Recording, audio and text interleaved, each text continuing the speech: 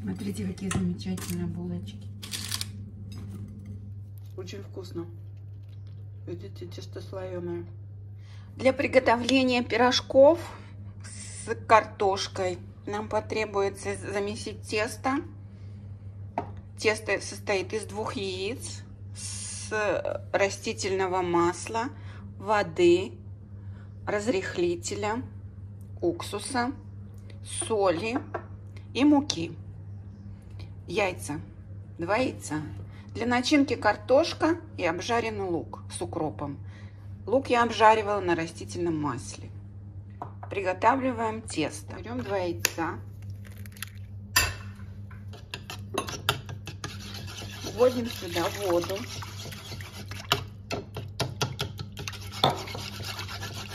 Растительное масло.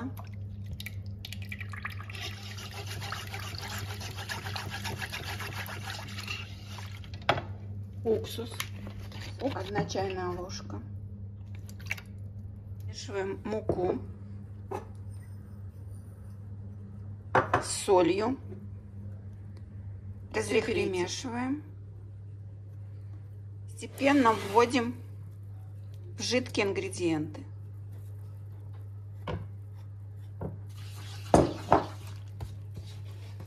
Замешиваем.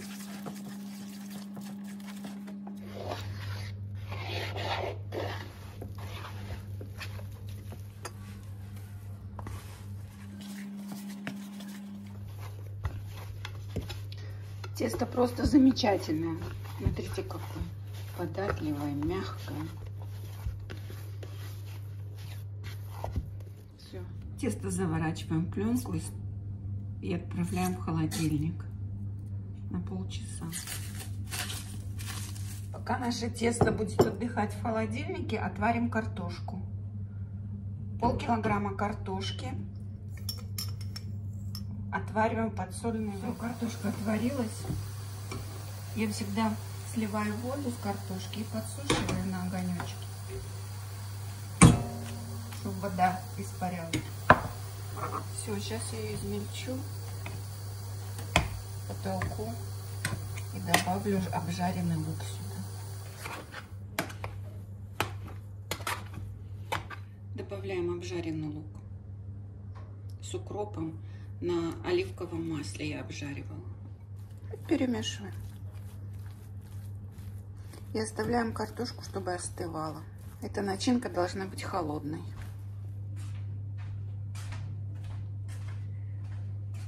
Поставьте лайк, пожалуйста, если вам не трудно. Вам ничего не стоит, а мне приятно. Ну что, будем дальше продолжать готовить к нашей берем скалку, разделяем наше тесто на две части. Одна часть пускай полежит немножко. Немножко подпыляем мукой. Раскатываем тесто. Такой квадратик делаем. Тесто очень податливое, не липучее. Замечательное просто тесто. Сюда мы можем начинить все, что даже мясо можно начинить. Эти пирожки творогом, шпинатом. Шпинат может рикоттой. Очень будет вкусно. Все, мы раскатали. Такой квадрат. На край теста накладываем такой полоской нашу начинку. Только много не накладываем.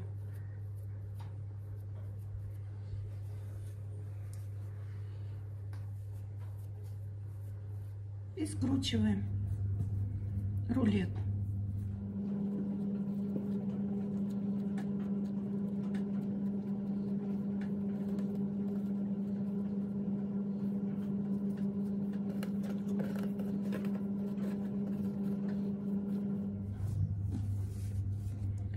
Все, скрутили рулет. Концы закручиваем. Ножом или чем-то твердым вот так делим. Лучше вот так рукой. Раз. И это делим на три. Короче, на 6 пирожков, чтобы у нас получилось. 6 пирожков.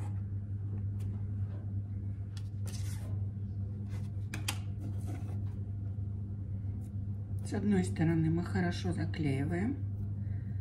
И вот так берем. И вот так прижимаем. Тоже склеиваем. И вот так нажимаем пальцем туда. Желательно помогать палец в муку, чтобы он хорошо вышел оттуда.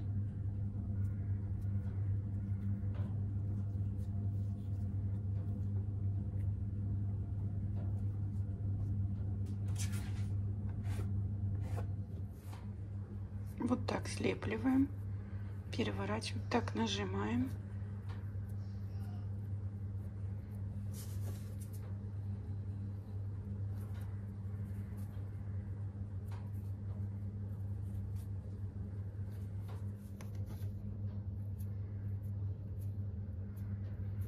Тесто очень липучее, хорошее.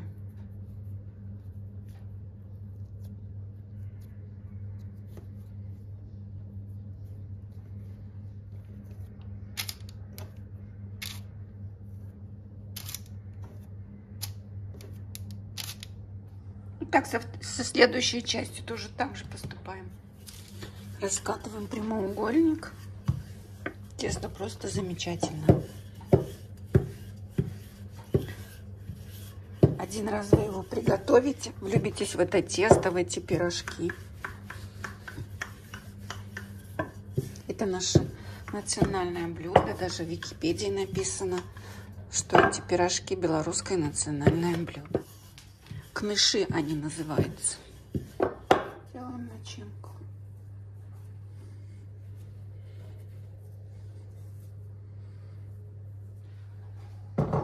Вся белорусская кухня национальная очень простая и вкусная. Как и наша Шамова. Деревня родная, она ближе к Польше.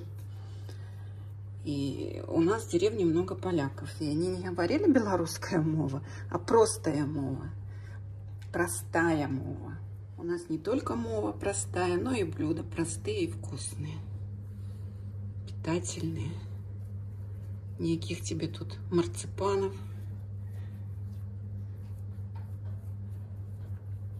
Все, закручиваем. Аккуратненько.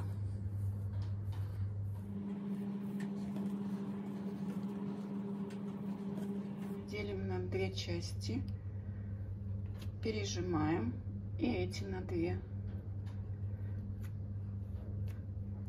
Тут тоже вот так. Все, как в аптеке.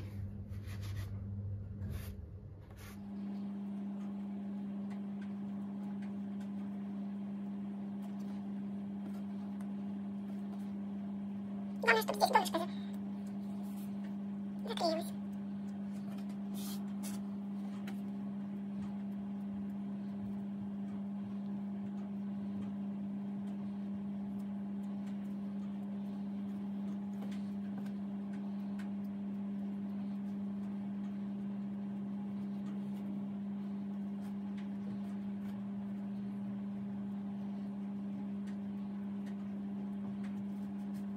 12 пирожков вышло.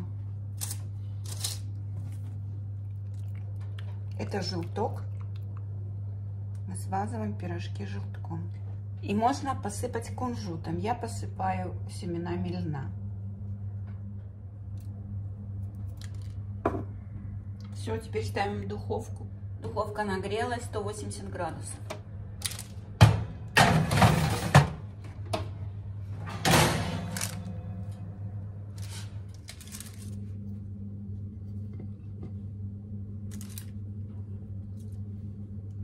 Смотрите, какие замечательные булочки.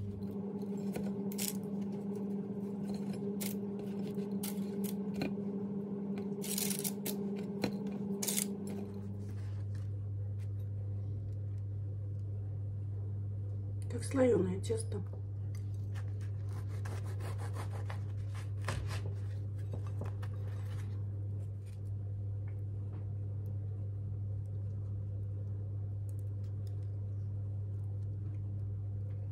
Очень вкусные пирожки.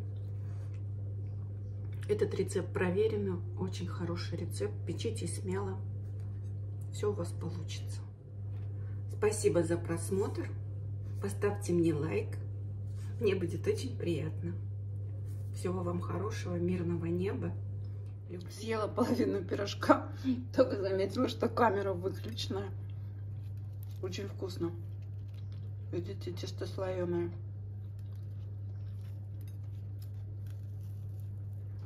Очень вкусные пирожки.